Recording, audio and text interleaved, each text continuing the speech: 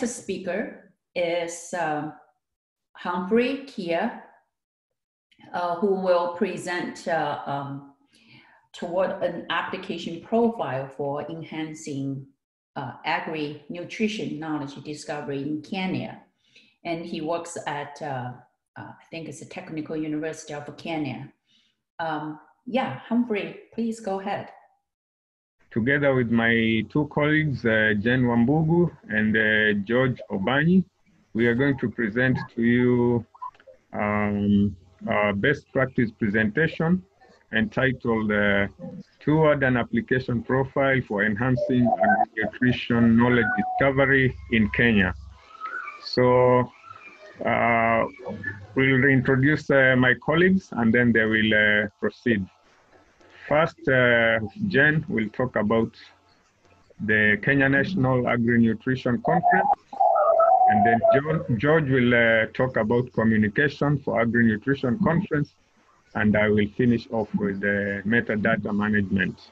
So I invite my colleague uh, Jen to pick up from there. Thank you. My name is Yeah. Tony Thank you. My Well, name is Jane. Uh, I'll talk about the uh, agri-nutrition, Kenya National Agri-Nutrition Conference.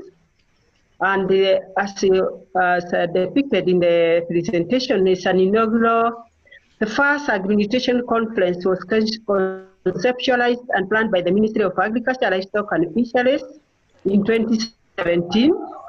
And the agri-nutrition uh, currently is reblooding from home economics. That is where we start from production, crop production to utilization at household level. And that is where home economic work was. Uh, the, this agri-nutrition conference was uh, supported both financially and technically by the respective ministry, that is the Ministry of Health, Ministry of Education, Ministry of Social Protection, and other related organizations were represented in the from both uh, financial and technical. Why have we do we have agri-nutrition conference? One, we have the global goal that is uh, sustainable development goal two of ending hunger and achieving food and nutrition security.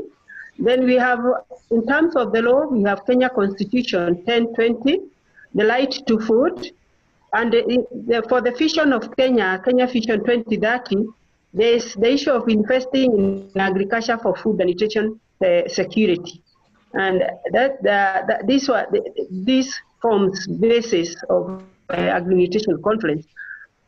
And currently, what the government of Kenya is implementing, we have the big four agenda, that is food security, food and nutrition security, affordable health care, affordable housing, and also manufacturing. These are the, and therefore the agri-nutrition, that is the, under the food and nutrition security, that is part of the big four. We also have uh, the agriculture sector transformation and growth strategy 2019-2029, which has nine pillars, and food and nutrition security is part of the main pillar of this sector working uh, strategy which also, and under the big four, we are talking about 100% food and nutrition security in Kenya. So we need to showcase the agri-nutrition experiences, that is from production to consumption of healthy, nutritious food. And this one forms a platform for experience sharing in the role of agriculture improving nutritional outcome. This one bridges the disconnect between nutrition and agriculture. Therefore, the need for us having agri-nutrition conference. Uh, there have been uh, great uh, strides. We have made great strides since the inception of uh, agri-nutrition conference in 2017 because we have seen in, in collaborators. In the initial conference of 2017, the participation we had 201 but in, by 2018, we saw a substantial growth of 402 of interested and participating partners, and that, that will continue even in 2019 with 200, 408.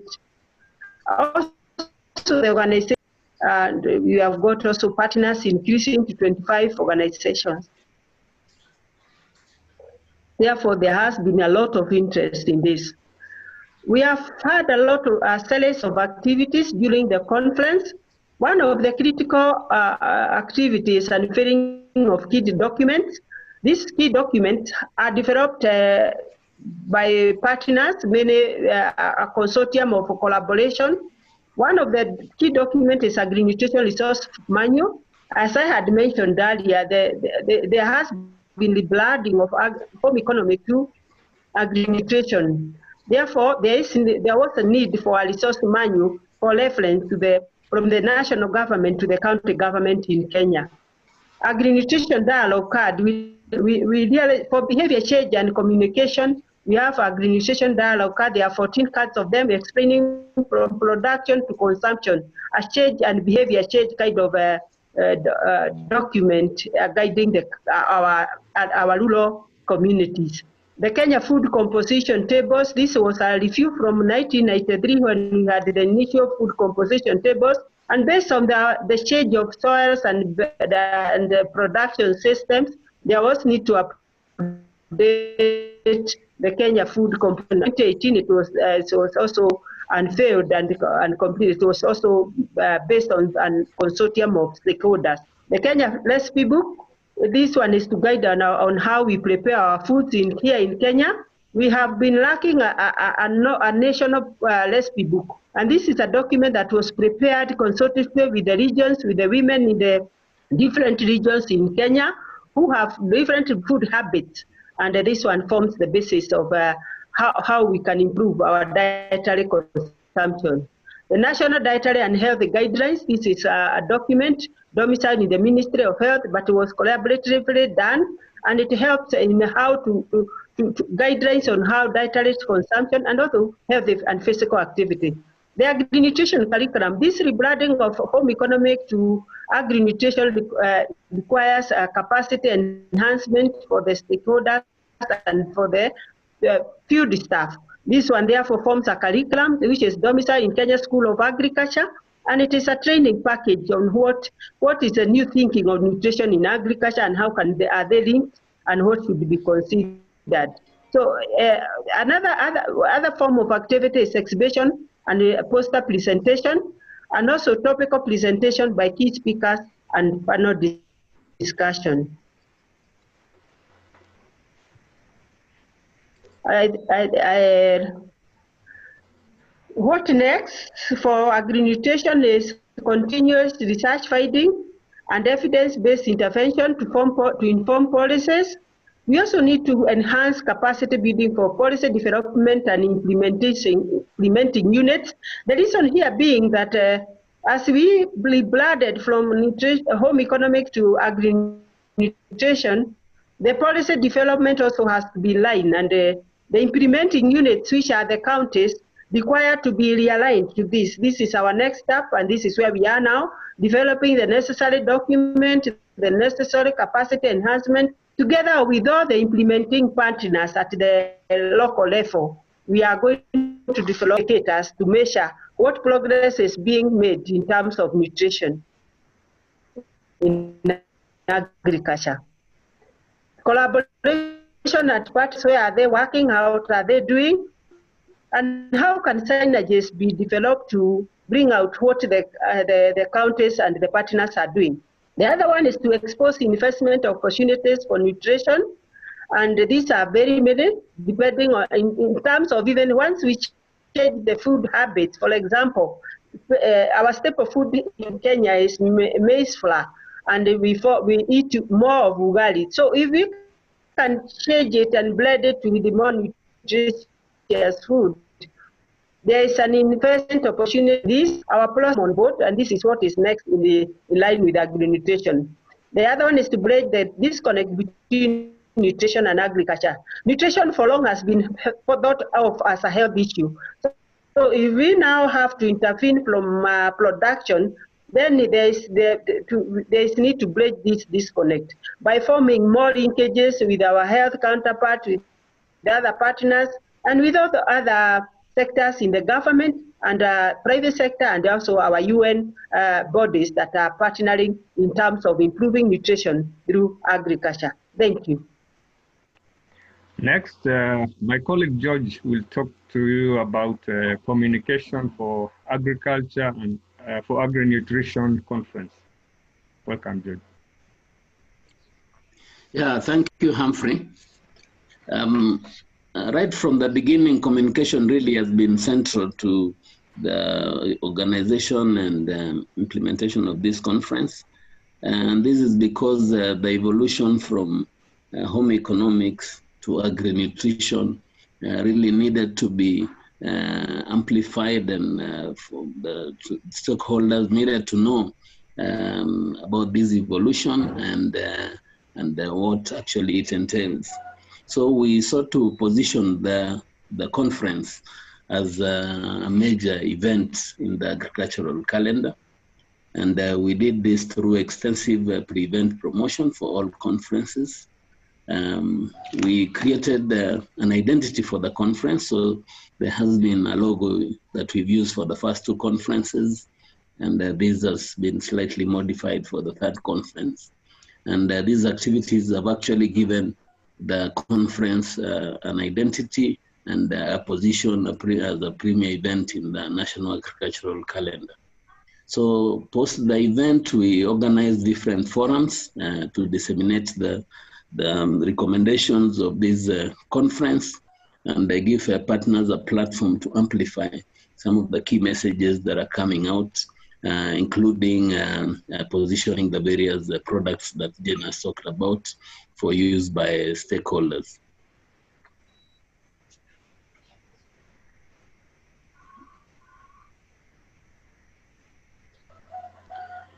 Yeah, central to the communication for the conference has been uh, been efforts to position the the publications and knowledge products that have been developed to to um, um, to support to promote agri nutrition.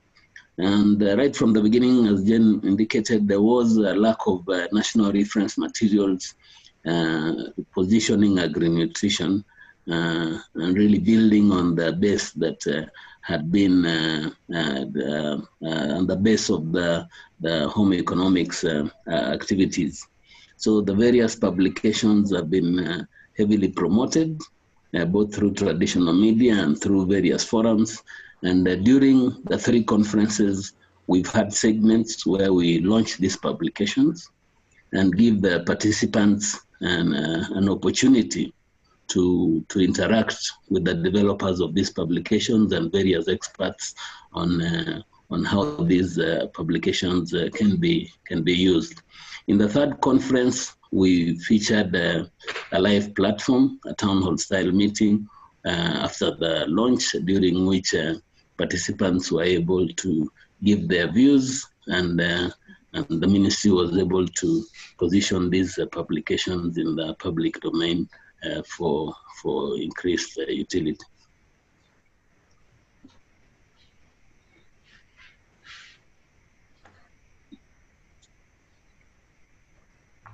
Okay, the, all three conferences have been very well covered uh, in the mass media.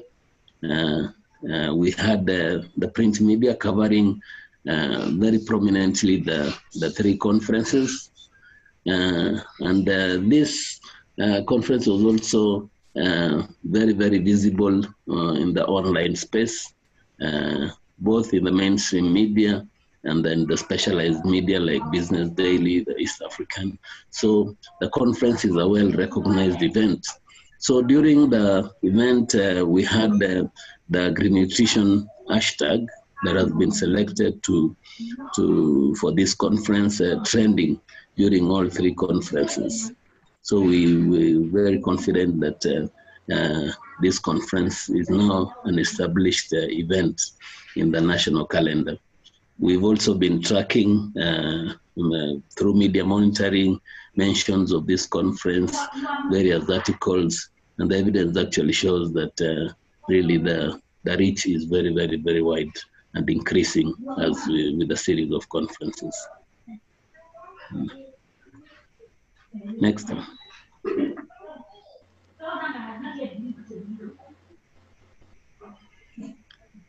Yeah. Um,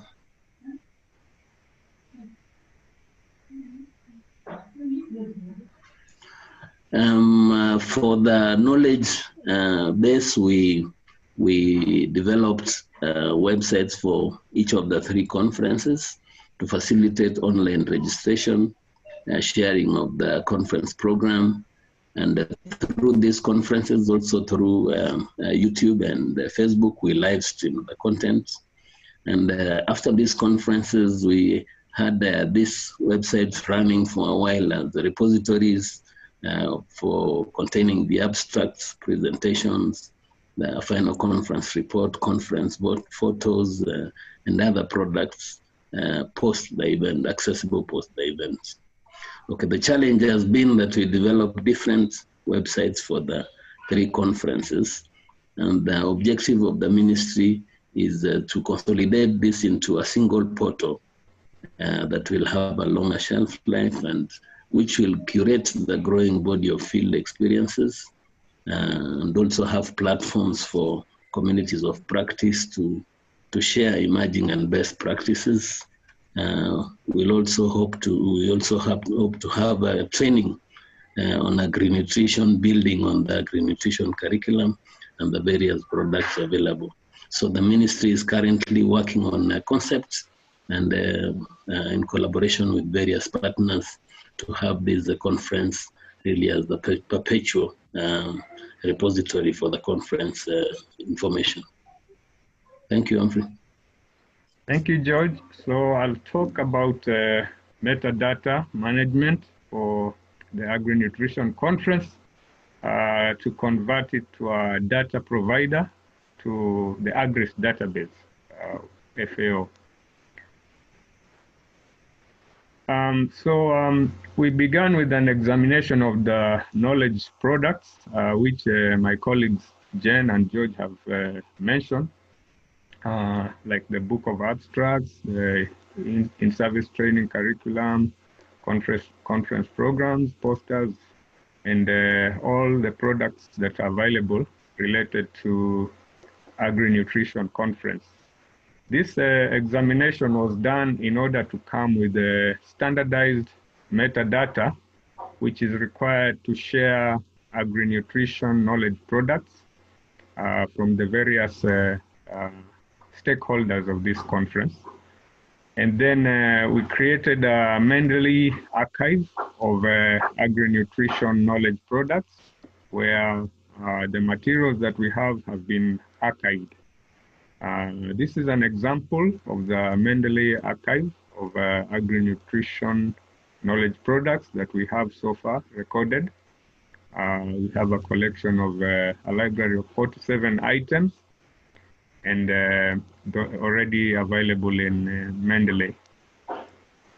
Um, this is a, an example of the of an item that has already been registered in the archive uh, that is the book of abstracts for the third National Agri-Nutrition Conference. Uh, you can see there the metadata and the knowledge product PDF itself. This is another example, the in-service agri-nutrition training curriculum, also in the Mendeley archive.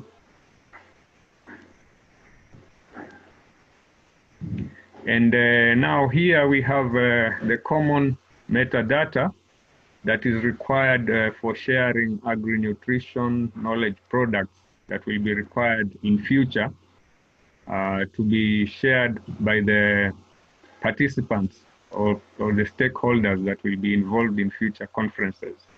So we have come up with this list uh, of the common uh, metadata like the author, affiliation, corporate author, title, subtitle, all the way down to the type of the publication.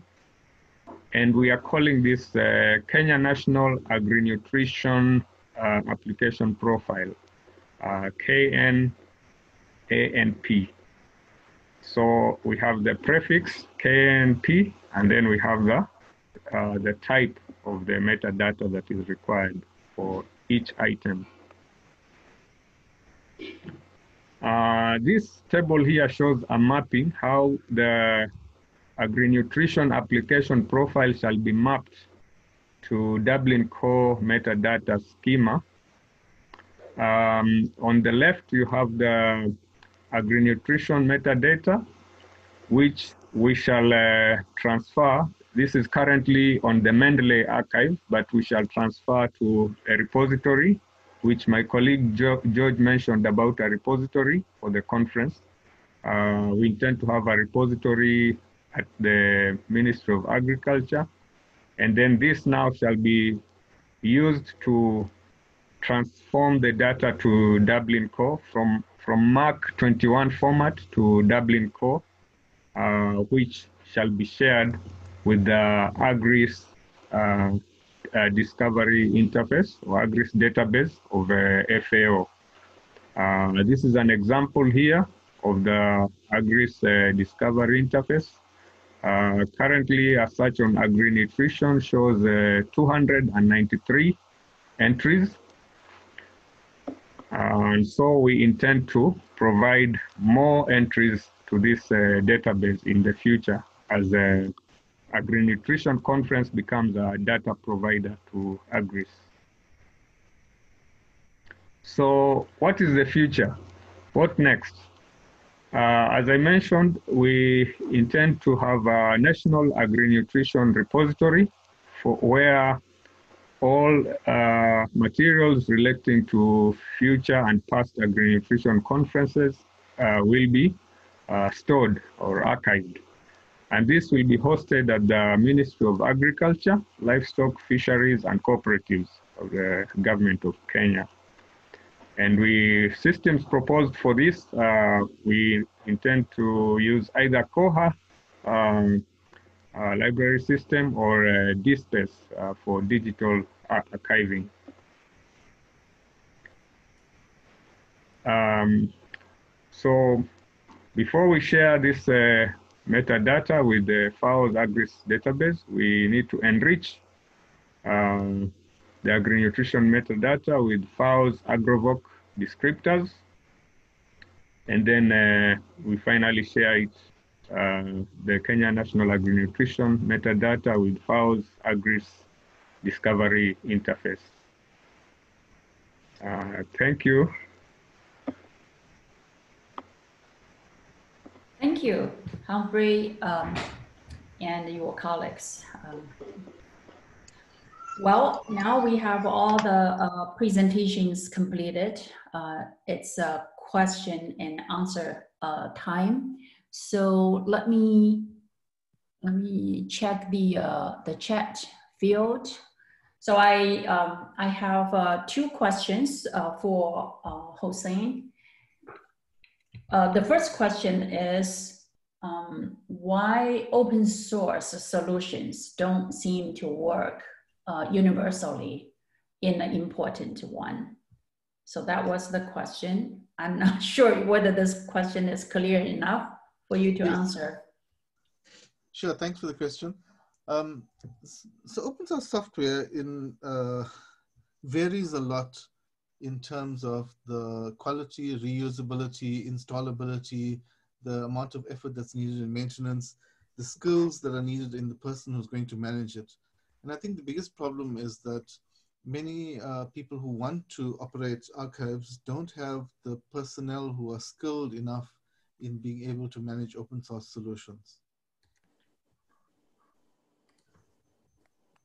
Oh, okay. Thank you. And uh, the next question is from uh, Paul Walker.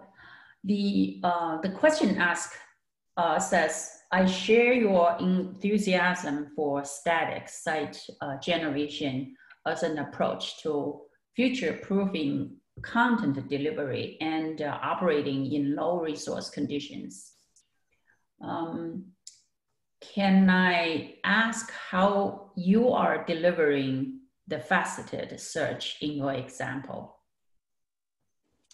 Okay, so at the risk of getting a bit technical, um, so in the in the example in system that I'm uh, working on at the moment, the faceted search um, uses classical information retrieval approaches, and I start off with a collection of metadata, and the metadata is used to generate the site, and almost simultaneously, it's used to generate um, a collection of inverted index files.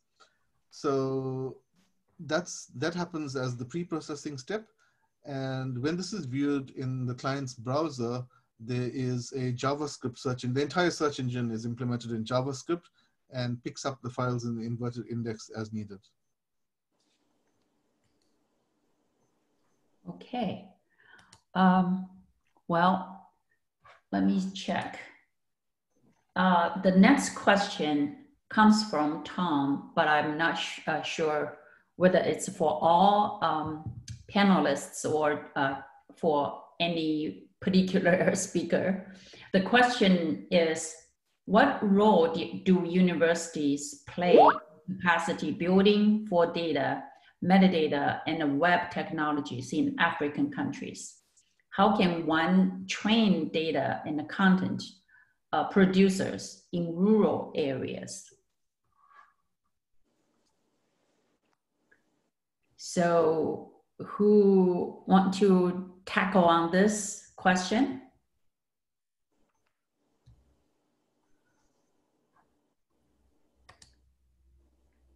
Um, perhaps Humphrey or um, uh, what is the uh, uh, or Hussein? Do you have uh, any? Uh, I have lots of thoughts on this. Uh, uh, Humphrey wants to add anything, but let, let, me start maybe to say that these are difficult problems, right? Um, universities in many countries have taken on the role of training because nobody else is doing it.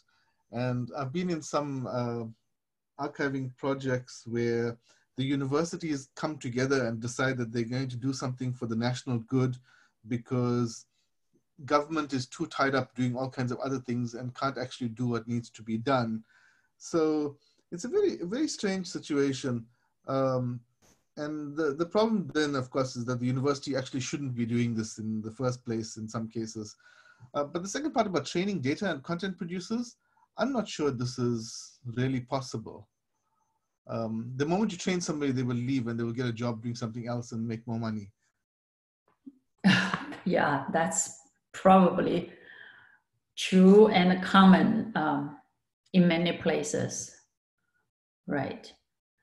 Um, yeah, okay. Um, I uh, see there's another uh, question uh, from Marcia Zeng. Um, the question reads, is to Humphrey and uh, his colleagues in the application profile, the recommendations has no mapping metadata element in MARC 21 or Dublin Core. Do you have this part just a paragraph of statements or have a pick list or taxonomy to use? Uh, uh, thank you. So um, on that, uh, we just I just did um, simple uh, matching of the fields between um, the application profile to MARC 21 and then also to, to, to, to Dublin Core. But uh, we are using that, uh, the field descriptions in MARC 21 and Dublin Core and trying to relate them to the fields uh, in our application profile. Okay. I don't know if that answers the question. Yeah. Or maybe Marcia, if you want to uh, speak up, you can. Okay, so we should be able to share our video now. Uh, I see. Uh, but in any case, um, I don't want to be the only one showing the video. Okay, I can do that unable to start video. I can't, but speakers can. Please do, uh, so people can look at you. Uh, I do have a question for Marie Cloud. Uh, I noticed whether in your presentation that you uh, showed a format element as well as a technical property element. I wonder, uh, you know, what's the difference between the two? Because uh, when I see the value in your technical property, you also uh, gave examples for like PDF and but uh, shouldn't those put into the format element? So what's the difference between the two? Jan, do you mean the difference between the descriptive metadata and the technical metadata?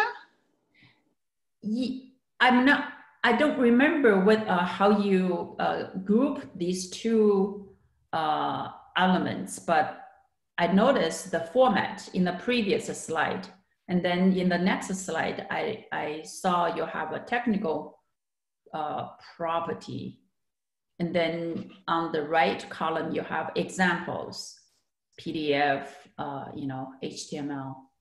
Oh, okay. I think you referred to the slides where uh, uh, I displayed the metadata concepts that uh, we need to uh, receive from GC institutions. Mm-hmm. And uh, the mapping we were able to do to uh, specific fields and content server in GC docs, open text content server. Is that what you, you mean? Yeah, I think it's about the, um, the application profile. Yeah, so, uh, so your question is explaining the difference or? Yeah, I, I, I just want, you know, I was curious. Um,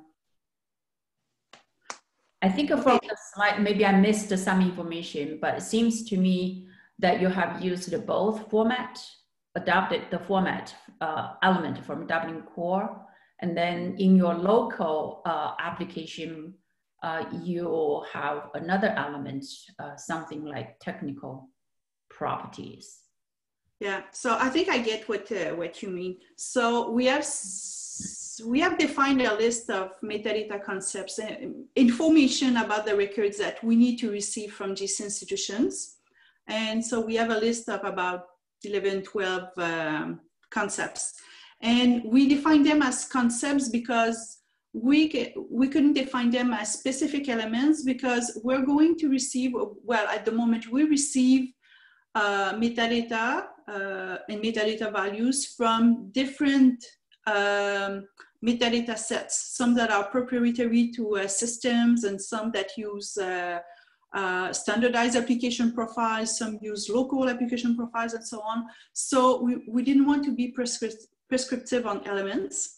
So we basically want to have uh, whatever element you call title, we want this concept of a title. You need to send us a title or a creator or um, a unique identifier. So um, uh, so the, the mapping and in the in the right column you see the mapping. So that's the that's how the metadata elements, they're more like fields, but anyway, let's call them elements, appear in the application GC doc. So we were able to uh, to map what is it that we want to the specific fields in GC docs. And in an XML script, we can encode them in a way that they go directly where they're supposed to go when they arrive in our environment. Okay. Does it clarify, Jan? Yeah, yeah, yeah. Thank you. Thank you. Welcome. um, do we, I don't see any more questions from, um, from the chat. Um, we still have about five minutes. Um, any more comments? Yes. Marie Claude? Yes, I have a question for Flora actually. So uh, I find the visualization, uh, all visualization uh, initiatives are uh, are really uh, um, amazing. I'm a visual person, so I like to have uh, an image. It tells me 1,000 words in one uh, in one image. So maybe I missed it, but did you did you use specialized software to use yes. the the metadata and the data, the values to transform them? Yes, what, what I used at the beginning was to uh, Mendeley as the main uh, place to, to, to um, create my, my database. And then I migrate this information with a specific file. And I use this uh, software that is called VOS Viewer. Okay. That is a, a free so source that you can download. And, you know, I, I find that very useful because uh, sometimes we say we have 20,000 files or 20,000 registers of blah, blah, blah. But when you do this type of visualizations, then you realize what is, what is inside of these 2,000 registers, no? So in this case, um, for us, it was uh, we really discover uh, a lot of things that we didn't know before with these network visualizations. So it, it is going to be useful, for example, to know uh, which experts can we invite for the next editions or from which countries we are you know having uh, this uh, lack of participation and these type of things no. That is more like in a higher level no? So you're going to reuse them uh, use yeah. the database and the visualization tool. Cool. Yeah yeah. Like a, in, an, in, in a strategical way no? Yeah. Yeah. To uh, to derive insight. Yeah. Oh that's cool. Thank you. Thank you for I, the invitation. question, um, not exactly to your uh, to your um, no, I mean question for Hussein and Humphrey and his colleagues. Um, I noticed that in your presentation, uh, you know, several of you used uh, uh, Mendeley as the tool for storing uh, and organizing the metadata about publications, um, um, reports and all you know the documents. So um, so I wonder this is kind of a look forward, uh, like you know a few years, five years, uh, three years, five years down the road, when the metadata collection, you know metadata sets or whatever records uh, grows in size.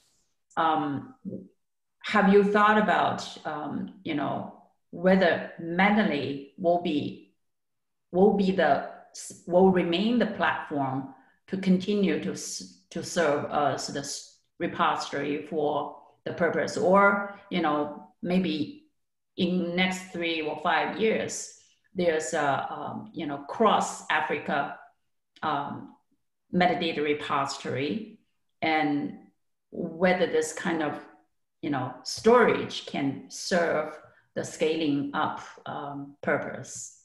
Um, have you thought about that? I'm just curious.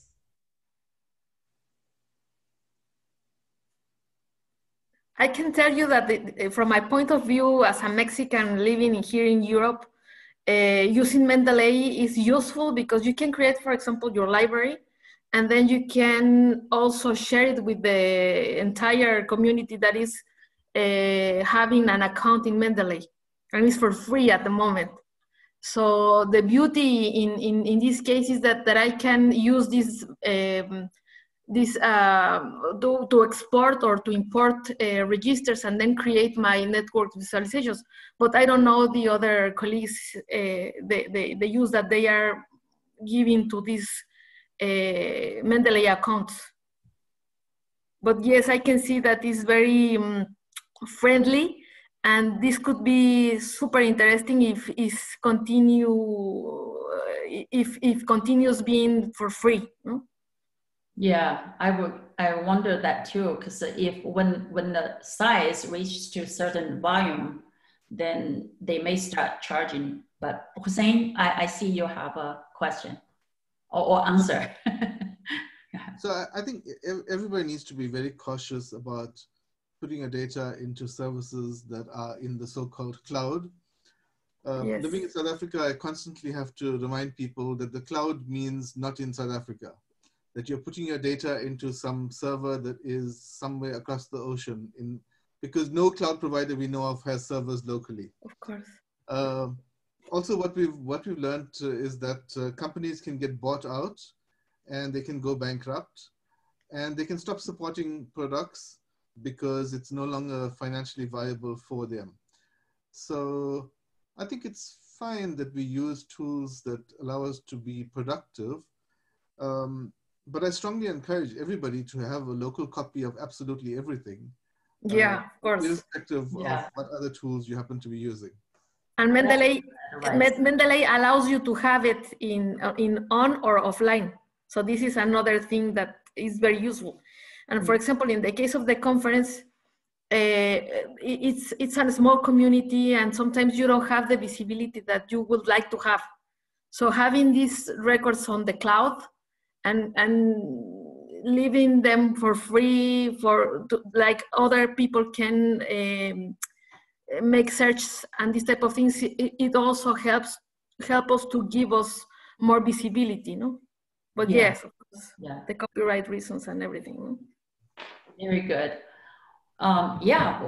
Uh, okay, let me see. We are at the time, at the end of uh, this session. The, the time is uh, uh, there uh, for us to stop, unfortunately. Uh, I really enjoyed your uh, presentation. I hope uh, our uh, audience did that too. And I want to thank you for giving such interesting um, presentations about what's going on in your work and then bring in the new developments in your area. And I'm, I especially appreciate uh, our speakers from, uh, from Africa countries because um, we, you know, this is a great opportunity. I think a pandemic somewhat did uh, a nice thing for us to give, give us an opportunity. Otherwise, if we have physical meeting, probably it's difficult for uh, for people uh, to participate around the globe.